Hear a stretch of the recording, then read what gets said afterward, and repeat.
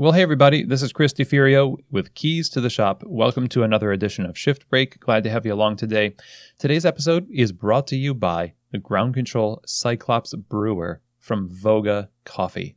The Ground Control Cyclops Brewer is changing the game for batch brew coffee and more. It is basically rewriting the expectations that we have for coffee equipment.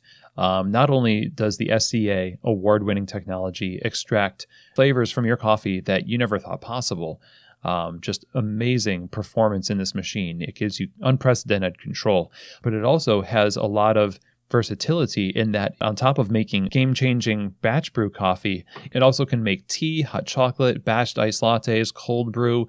And as we look for stability and resilience and versatility in our businesses over the years, this is the kind of equipment that you need alongside you. So if you're all about quality coffee, you want to level up your batch brew and get something on your counter that has unmatched versatility and control, then I definitely recommend the Ground Control Cyclops Brewer from Voga Coffee. Go visit them at their website, vogacoffee.com. That's V O G A coffee.com. Today's episode is also brought to you by Espressly. Espressly works with independent coffee shop owners just like you to create your own custom branded mobile app.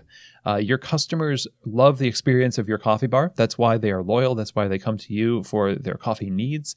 And when you want to offer them something that brings convenience, oftentimes you have to compromise on the experience. And that's where Espressly comes in to marry the two, to kind of give them that experience that they know and love from your brand, along with the convenience of mobile ordering process. Now, this is a no risk model. There's no setup or development fees. It integrates with Square, it has label and receipt printing capabilities.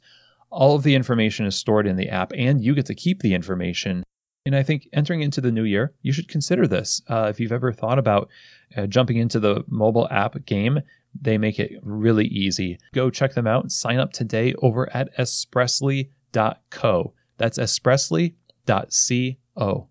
All right. Well, today I wanted to talk with you about the difference between you and your employees. And one of the key differences, of course, there's a lot of differences, but one of the key differences has to do with how people latch on to things when they are employees versus owners. Now, I want you to imagine that you're an employee and you just enter into your employment with a coffee shop and they teach you all about coffee they teach you all about latte art. They teach you how to work the bar. All this information for a lot of baristas is pretty new. And even if it's not new, there's a lot of pressure attached to it because your job is basically uh, to do this well, right? You know, so you, you're incentivized heavily to embed this information in your psyche until it is habit, it is in deep, and you don't really uh, have less of a chance of screwing up, right? So in both cases, whether you're a new barista or a seasoned barista relearning some things, you still latch onto this information pretty deeply. Now imagine that the owner comes around and changes something in the cafe. They change how you make um, a, a drink or how you make coffee. Now, what's happening on the outside might not reflect what's happening on the inside. On the outside, a barista might say, okay, um, well, what's the new information? But on the inside, they might be saying, oh my gosh, you mean I need to like uproot everything I know about this, you know, subject? And uh, it's a, it's a huge deal. And how am I going to recommit this to memory?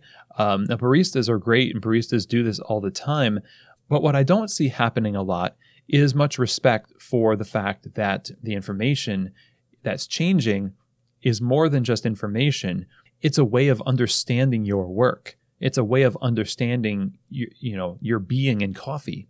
And to an owner looking from a 30,000 foot view, it's curating the process, especially if you're an owner that has been a little bit removed from the bar. These decisions that you make to you, you've already gone through this process of saying, okay, we're going to change this. You've convinced yourself, and now you're communicating this information to the barista in and oftentimes a pretty glib way without much empathy for exactly what the barista is going to have to do to retool their understanding of the process.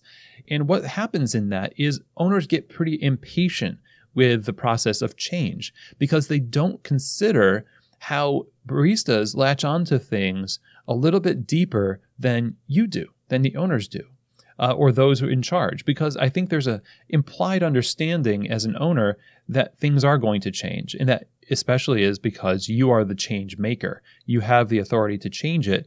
And when you flex that authority, it kind of makes the change easier, and especially because you're not the one necessarily that has to live within the systems that you create, or is not as much as other people.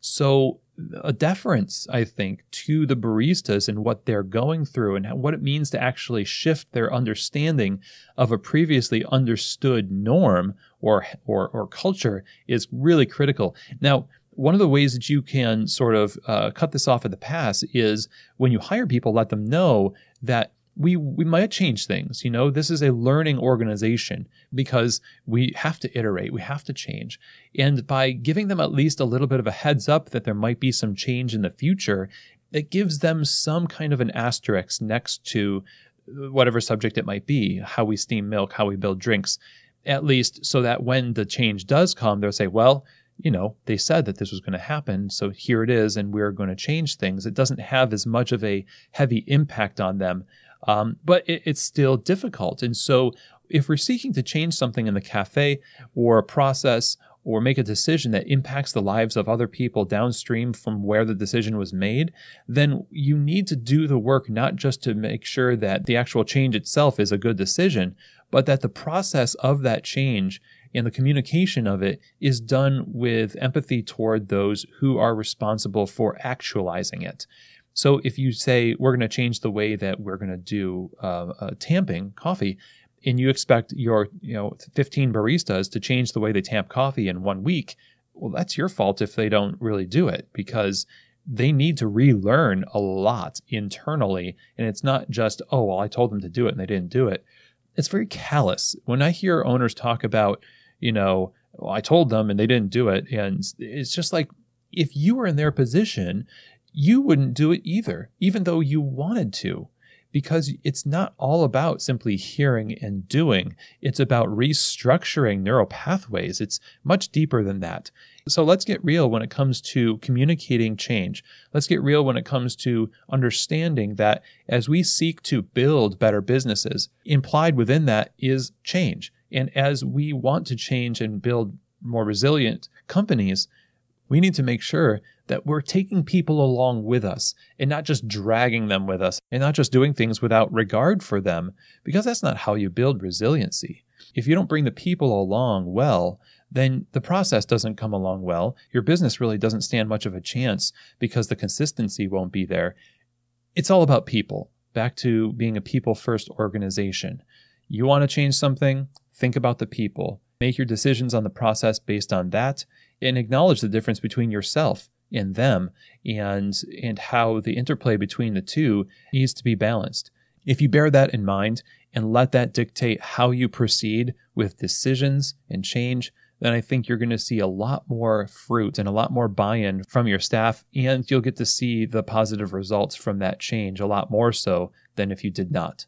So I hope that this was a helpful episode for you. Thank you so much for joining me, and I will see you here next week on another edition of Shift Break from Keys to the Shop.